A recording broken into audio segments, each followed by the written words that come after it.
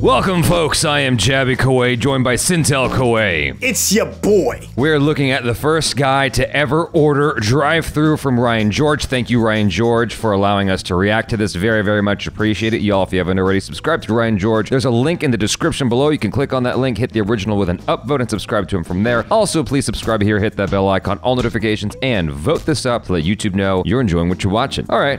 Let's jump into this, shall we? The first guy to ever order drive-through. I am very excited. I like drive-through. I'd never even considered that concept. There had to be a first, right? Yeah. At one point, there was a first. There's The first always one to take a chance.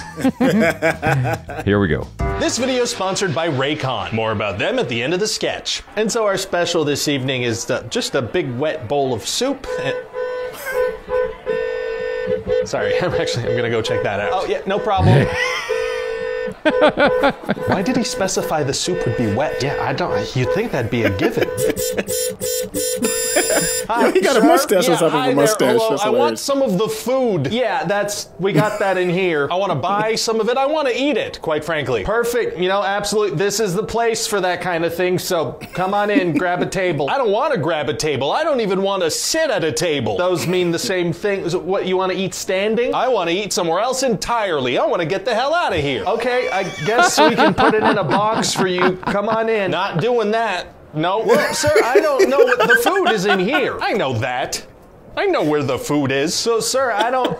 What's the problem? I want food now, but getting out of my car, that's like a whole thing. Wouldn't you agree? Well, am I wrong? It's a thing, sure. So, but everything is a thing, so I don't really like. What's the argument being made here? I like it in here. All right, do you want us to bring the food out to you? It's the car, Excuse me. We can have one of the delivery guys deliver it to the parking lot, I guess. Okay, I'm not a baby. I can get my own food. Thank you very much. Okay, so you don't want to come in, but you also want to get the food yourself. Correct. And you don't. Okay, so um, oh, The car, though, man. Yeah, the I know the car car's genius. what's so interesting to me is that people will sit in the drive-through, which. Mm-hmm.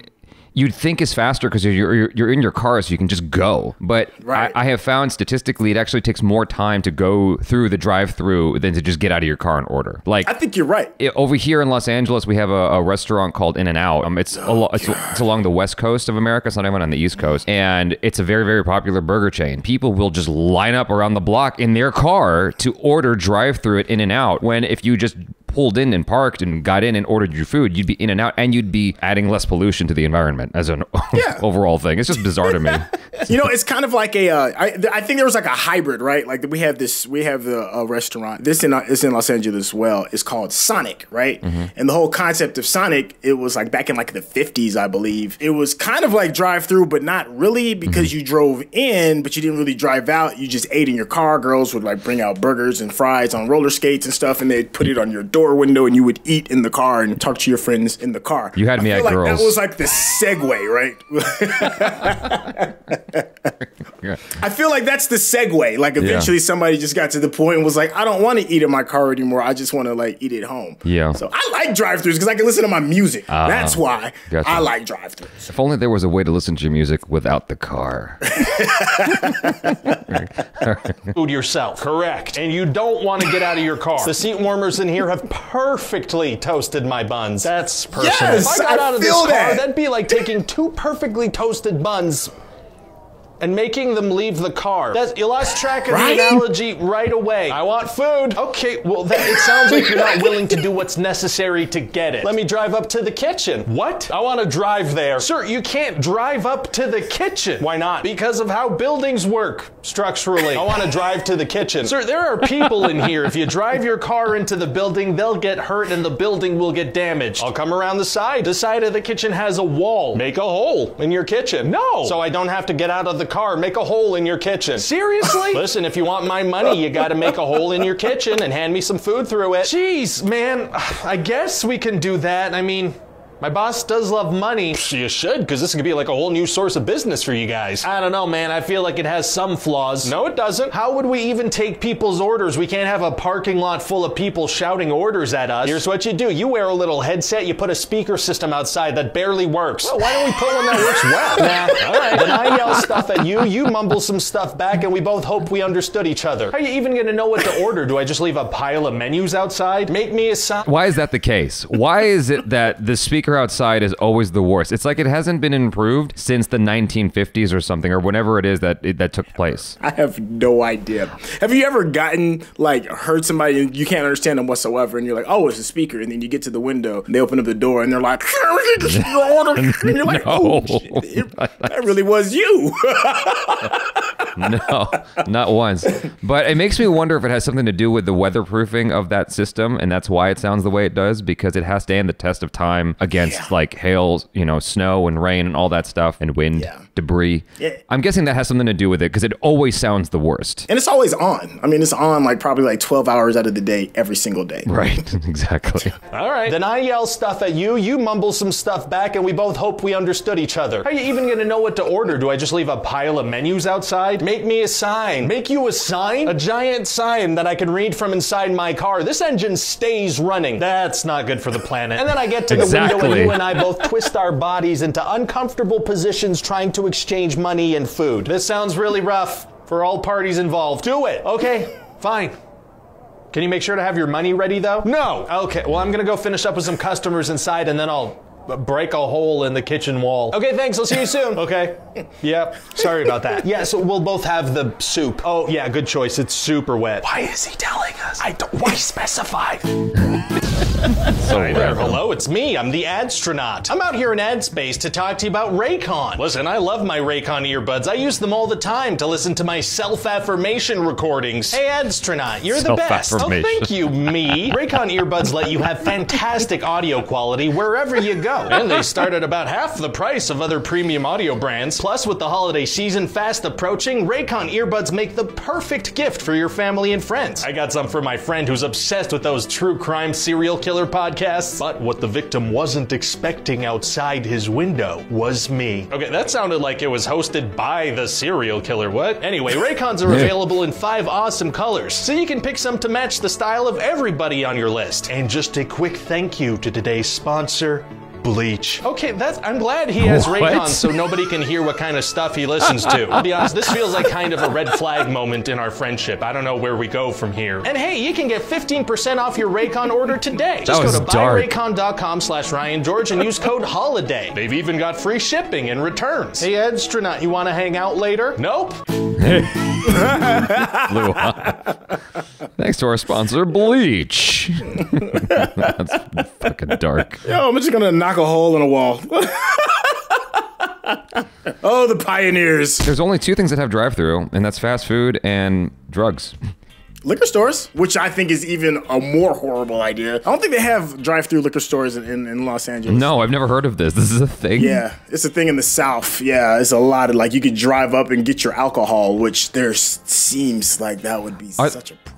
Are the laws different around alcohol in the South? Because in, in Los Angeles, you have to put it like in the trunk or something. It's something weird. Like, okay, if it's sealed, I guess you can just put it in the back seat. But, Right. but if it's open, it has to be in the trunk. yeah, well, I don't think you can even drive anything open at all. Period. Yeah, like you can't have an open al- alcoholic. No, I mean, like the seal has been broken at some point. You have to put it in the uh-huh. trunk of your car. Oh, okay. I see what you're saying. Yeah. Oh, no, yeah, no, that, yeah. I mean, you know, it's all state law stuff, so it's a Yeah. lot different. Because you know, like a place like Louisiana, you can drink at like 18. So Yeah, thank God for the emergency hatch in the back for the cars ever since like the 2000s. You know, where you like put down the armrest and there's like a hatch into the trunk. You know about that? So th- yeah, it's it's or just you can put like skis and stuff in there. well, it's also so you can throw your alcohol in the back in case a cop pulls you over. Way more practical use, by the way. it's just big enough for a Jack Daniels bottle.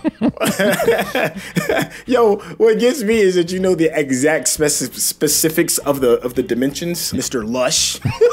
no, I've never actually done that, but it seems like a perfect escape hatch for your alcohol. So that if the cop pulls you over, there's no reason for him to be suspicious, other than your breath and your bad driving. what are you talking about, officer? My, br- my breath smells like pennies. I don't know what you're talking about. So, if you ever get pulled over by a cop, pennies is apparently the way to make your breath stop smelling like alcohol. is that really a thing? That's what I heard. Oh, you just like I heard the absolute worst thing you can do is actually use like mouthwash because mouthwash has alcohol. Oh god! I just heard it, cleaned like, myself. Double and triple. Yeah, it'll triple the the, the whatever the meter reading is. It's I'm just being hygienic, Officer Whitman.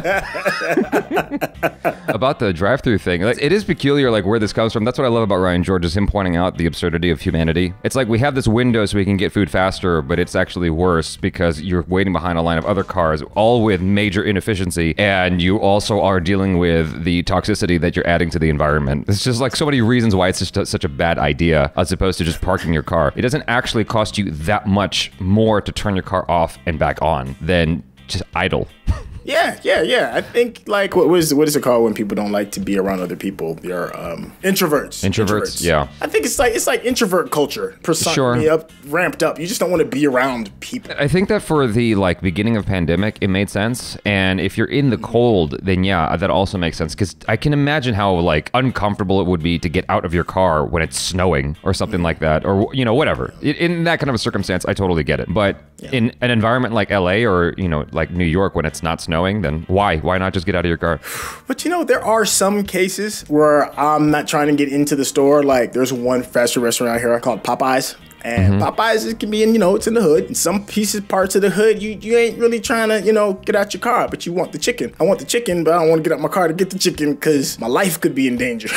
so yeah. I'm hoping my vehicle will stop the slugs from flying to the windshield. it's like a really fake sense of security. You know, you just don't want to deal with the people. But the food is good. Um, you ever see those scenes like in The Godfather? Was it The Godfather that I'm thinking of? There's like movies where, like gangster movies, where you have a, a car that gets trapped between like a car in front and a car in back. oh yeah, definitely the Godfather. Yeah, yeah, yeah. Can you imagine a scene like that in a drive-through at a Popeyes? Golly. I just wanted the chicken. you didn't pay me, bitch. Listen, you think you think I'm kidding? In case you don't know what a Popeyes is, like there's a couple of uh, restaurants in LA where there is literally two to three inches of bulletproof glass that separate you from the cashier in the store. I'm not even lying. Like, you ever heard of? There's this one uh, Krispy It sounds. It sounds like. It sounds like you need to move, dude. no, no, no. I'm just saying this is in LA. When I used to live in LA, there was this one Krispy Kreme. They used to call it Killer Creams. Wow. Uh, because it had been robbed so many times and so many drive-bys had happened that the management have decided it was like maybe it'll be in the best interest of our employees if we put them behind bulletproof glass. That's why there's drive-throughs in some places. You could just hire. saying you can get away. You, you could just you could, you could just hire that big ass ro- robot from RoboCop. the Ed 209. Yeah, whatever that is. you guys, this has been fun. Thanks so much for hanging out. Thank you again to Ryan George for allowing us to react to this. Very much appreciate it. You all subscribe if you haven't already. Hit that bell icon, all notifications. Vote this up. Follow Syntell on his YouTube channel, youtube.com slash Syntell. Also at Syntell on Instagram. Thanks so much for hanging out. I'm Jaby Koay. This is It's your boy. Peace out.